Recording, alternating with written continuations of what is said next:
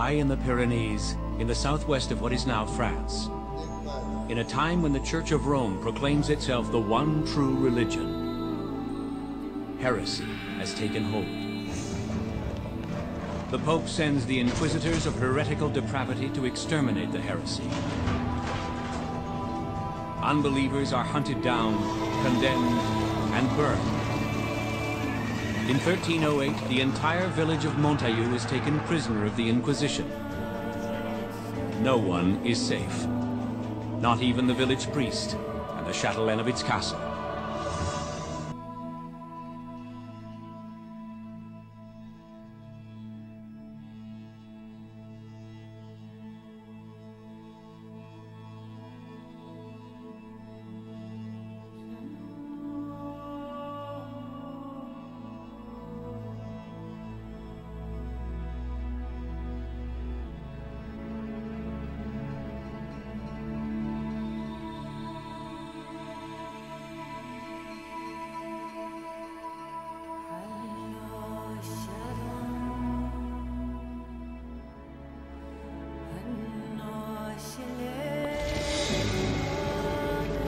Spain, 1478. A land where Christians, Muslims, and Jews have lived in tolerance for centuries. But that time is ending.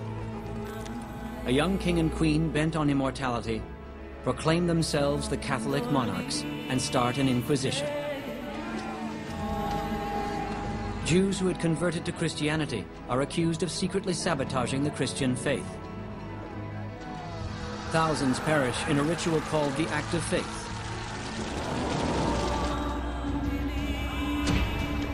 The assassination of the Inquisitor sets off a wave of reprisals.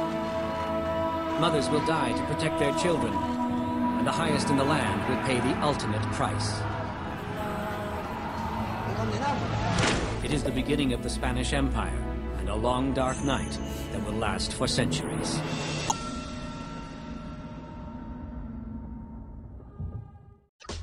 I'm going to try to give you a brief look at some of the so-called religious wars of the past, and to show you that almost none of them were caused by differences in religion, but instead by elite groups who were using the people's beliefs to trick them into fighting wars for the state's own political, not religious agendas.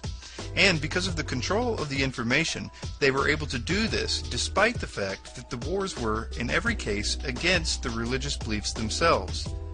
Let's start with the Holy War that most of us immediately think of, which is the so-called Crusades.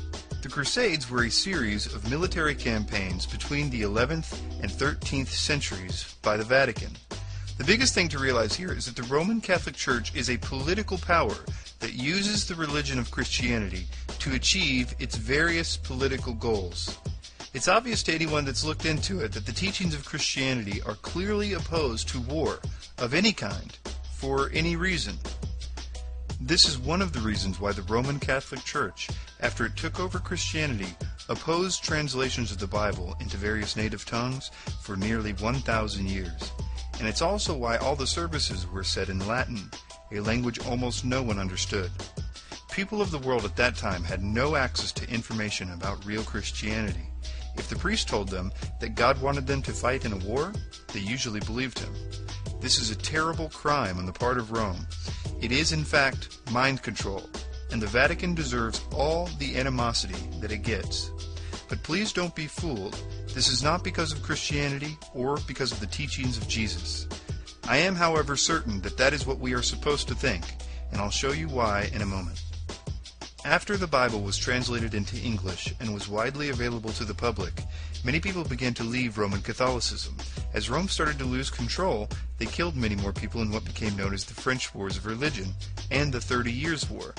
Again, these so-called holy wars were simply a political organization who was masquerading as a religious organization, trying to retain control of the population that it was now losing.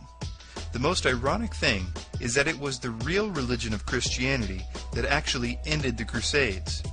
Once people found out what the Bible actually said, they realized how wrong war was and that they had been deceived.